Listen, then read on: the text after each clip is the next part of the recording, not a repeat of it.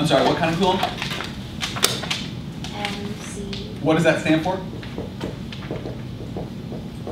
That's fine, you said micro, I'll write micro down. I don't think so. I don't think it's micro. If it were mm, what would it be? Milla. Right, it would be millimeters, right? So this is just millicoulombs. Passes through a cross-sectional area of a nichrome wire It's just the material, it's some sort of nichrome wire. in three and a half seconds. Keep going. What is the current in the wire? And how many electrons pass through the cross-sectional area in 10 seconds? So we have some sort of cross-sectional area of some sort of material, nichrome wire. We know that 9 millicoulombs pass through that wire in 3.5 seconds, part A.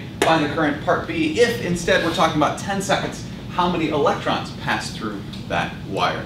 I did not put uh, these equal to any variables because I need to know what variables they are equal to. Stecker, the 9 millicoulombs is equal to what? Total charge. Ah, what am I going to put? Am I going to put Q, Q sub T for total charge? What am I going to put? It's the charge that passes through the wire in 3.5 seconds. Who can help Stecker out? I'm sorry, say again? The change in. This is the change in charge. This is literally the charge that moves through the wire at 3.5 seconds, so that is delta Q. 3.5 seconds then is the delta T, so the current is equal to delta Q over delta T. Please give me the numbers. Um, Ira? Um, zero point zero zero nine oh. 0.0, I don't see that number anywhere up here. What's that? Will you convert the, oh okay, you divide by a thousand. Oh, well, we've done, we've, I've said that we can do this one in our head by now. So 0.009, what? Cool. coulombs, right? Because there are a thousand millicoulombs in a coulomb. So we have 0.009 coulombs over our 3.5 seconds. We get what, please? Zero zero two five seven Give me a little bit more. one four two eight. That's fine. 143 is fine. Okay, so with sig figs, 0.0026, uh, 0.0026 dimensions on this, Megan? Um, coulombs per second. Right, and we call that an amp. That's with uh, two sig figs. We could also give this 2.6. If there were 2.6, what would the dimensions be then? Sid, Milliamps? So we could give it in amps or milliamps. I just gave it in either one just for fun. You could do either, it doesn't matter to me. Part B.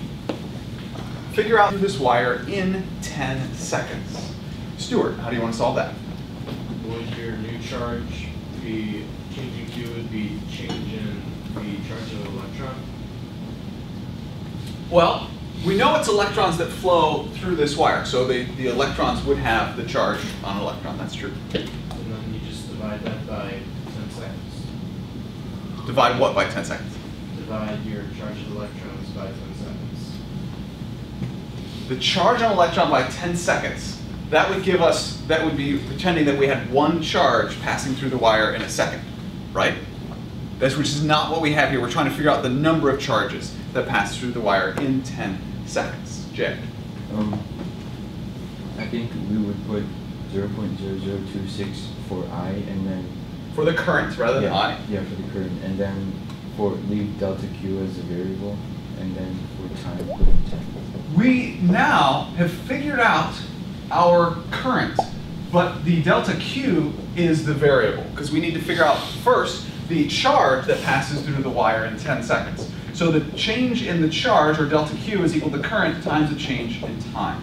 So delta Q, the change in charge, is equal to the current 0.002574143 multiplied by the time, the change in time, which is 10 seconds. So the charge that passes through the wire in 10 seconds is going to be 0.0257143 coulombs. Okay, this gets us close. We now know the, the number of coulombs that pass through the wire. I want to know the number of electrons that pass through the wire in 10 seconds. Yasha Swing. Um, would you use Q equals N? We can use the equation Q equals N times E, solve for N, which is the number of electrons acts equal to Q over the fundamental charge. So the charge that passes through the wire divided by the fundamental charge. Now, I know this is delta Q, which is by definition the charge that passes through the wire. In this particular case, that is the same as the charge that if we're simply trying to figure out the number of charges. So this Q and this delta Q happen to be the same. So the, the delta Q is 0.0257143 divided by the fundamental charge, 1.6 times 10 to the negative 19 coulombs. And One point six oh seven, one four three, times ten to the seven. 143 Yeah, times 10 to the seventeen. 17th, and that's electrons. In other words, 1.6, I believe, 1.61, we have, oh, we only have two sig figs. 1.6 times 10 to the 17th electrons. Okay, couple things. Yes? I have a question. Uh, would the charge of the electron be negative? Great question. The electron has a negative charge. I agree. And we know it's electrons, so we should be using a negative charge. Yet we didn't. Why didn't we use a negative charge? Okay, what, remember the current is defined as what? The direction that what would flow? A positive charge. So all of this was defined using a, the flow of a positive charge. So we have to use a positive for our charge, even though we know it's electrons. So we label it as electrons, even though it's the reverse of um, what we think it should be. Okay. Let's talk about this number. 1, 6, 1, 2, 3, 4, 5, 6, 7, 8, 9, 10, 11, 12, 13, 14, 15, 16 electrons. That's 1, 2, 3, 4, 5. That's 160 quadrillion electrons.